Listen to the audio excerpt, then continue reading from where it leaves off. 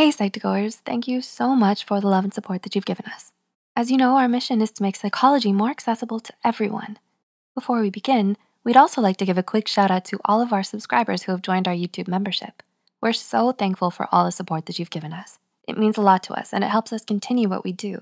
As your contributions go back to investing in this channel. Thanks for the love. Now, on to the video. Are you emotionally mature? There's a difference between being mature and being emotionally mature.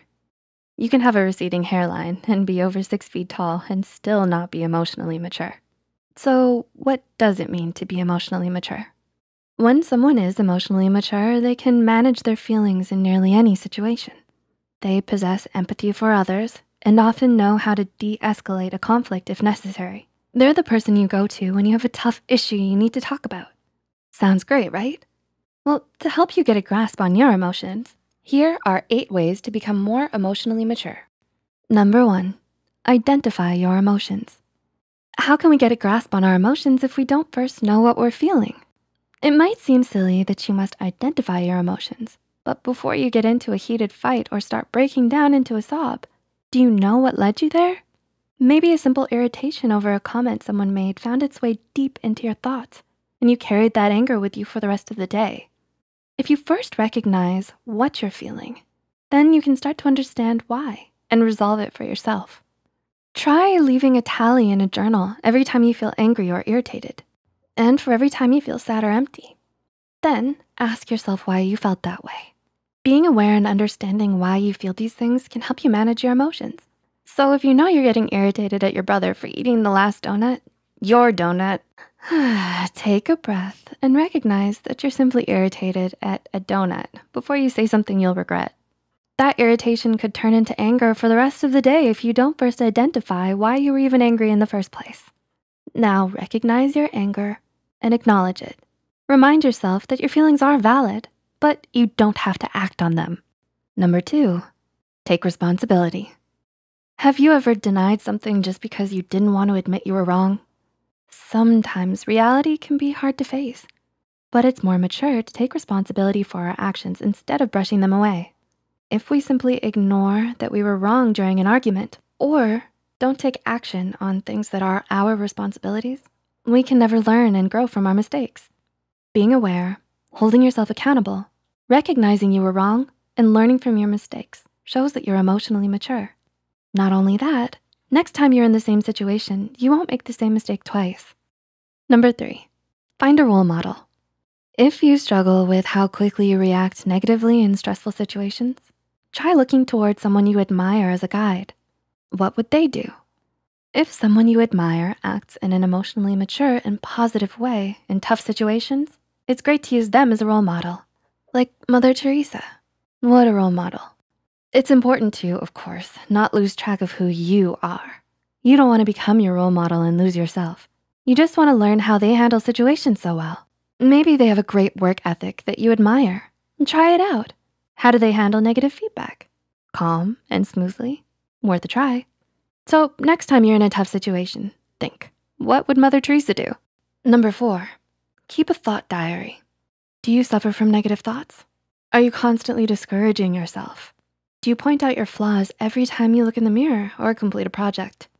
It's important to our mental health that we work towards having positive thoughts as opposed to negative ones. While we may think, oh, it's just one negative thought, no big deal, these negative comments we make to ourselves start to pile up.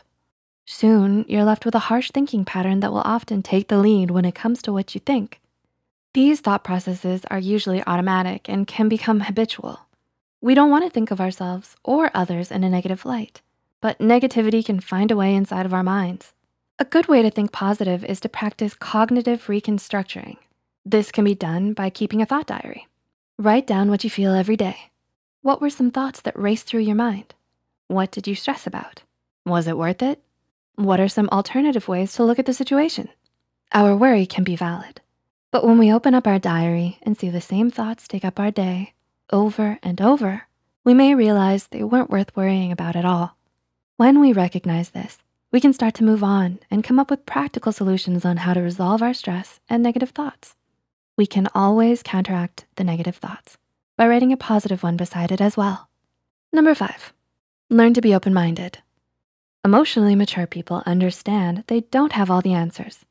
That's why it's best to open our minds to other perspectives besides simply our own. We may have a strong opinion on certain subjects, but it doesn't hurt to actively listen to another's opposing opinion instead of thinking about ways we can persuade them that they're wrong. It's best not to judge someone or something right away. If we learn to be open-minded, even with the little things, we give ourselves the chance to try something new. We can enjoy different films or literature we might not have thought was our taste. Try a unique recipe, and most importantly, hear others out. We may learn something from listening to another's perspective, and we may realize we were wrong. We can still choose our opinions in the end, but this is after we've listened with an open mind to the other's beliefs or arguments. Even if we don't agree, we may understand them a little bit more, and that can be powerful, as our role model, Mother Teresa, has advised. If you judge people, you have no time to love them. Number six, embrace reality. Do you often beat yourself up because of your circumstances and your flaws? Remember negative thoughts? Do they spend a lot of time dwelling on your reality? Instead of dwelling on your flaws or even suppressing them, accept and embrace them. This is your life. Instead of ignoring your struggles, find a way to be at peace with them. If you can change it, work towards change. If you can't, Embrace who you are, where you are, and work towards what will make you smile. Embracing this will not only give you clarity to move forward, but peace as well. Mother Teresa's wise tips on peace. Peace begins with a smile. Number seven, pause and be patient. Have you ever been in a heated argument and said something you didn't mean and later regretted it? This is likely because we act on impulse when upset. If we take a moment to pause and reflect, we can then begin to say what we really mean. Simply expressing how we feel and why can turn a situation around by not only making the other person understand you, but yourself as well.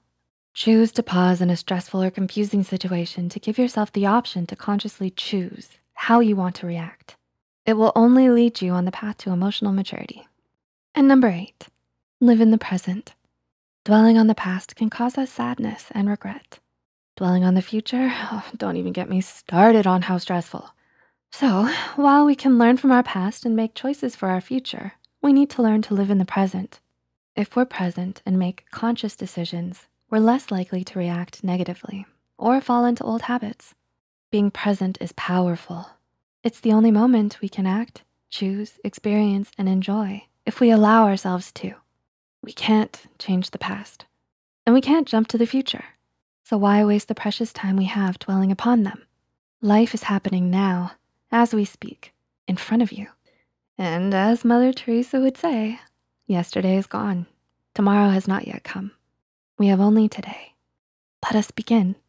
So, are you emotionally mature? Did you find these tips helpful? Let us know which one of these tips you'll follow in the comments below. Make sure to like and subscribe to Psych2Go for more psychology content and advice. And if you know someone who's emotionally immature, it might not hurt to share this video. Emotional maturity, here you come.